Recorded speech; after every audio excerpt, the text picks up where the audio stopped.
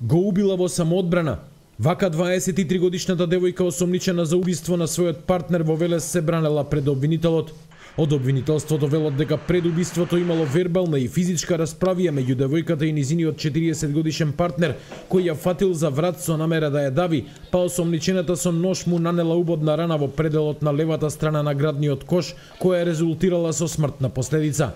Од обвинителството велат дека вчера утре во куќата во која живеела, осомничената при вршење семејно насилство лишила од живот 40 годишен маж со кого живеела во вомбрачна заедница.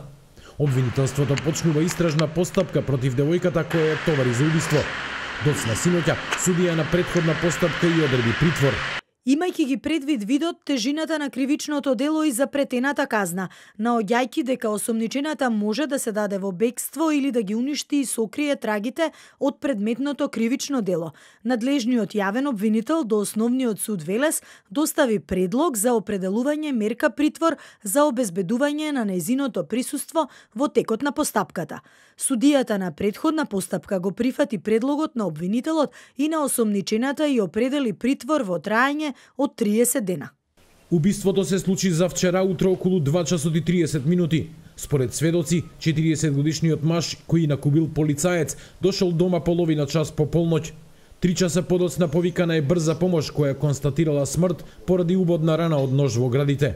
Соседите вчера пред камерата сведочеа дека убиениот бил конфликтна личност. Тој постојано се карал со соседите, а често се слушале кавги и физички пресметки со неговата партнерка. Од Велешката полиција вчера рекоа дека против нивниот колега немало пријава за семејно насилство, ниту пак некој се жалел на неговото однесување како полицаец. Сепак, пред 11 години полицаецот сторил кривично дело откако со автомобил повредил шестмина пешаци на тротоар, а за делото добил условна затворска казна.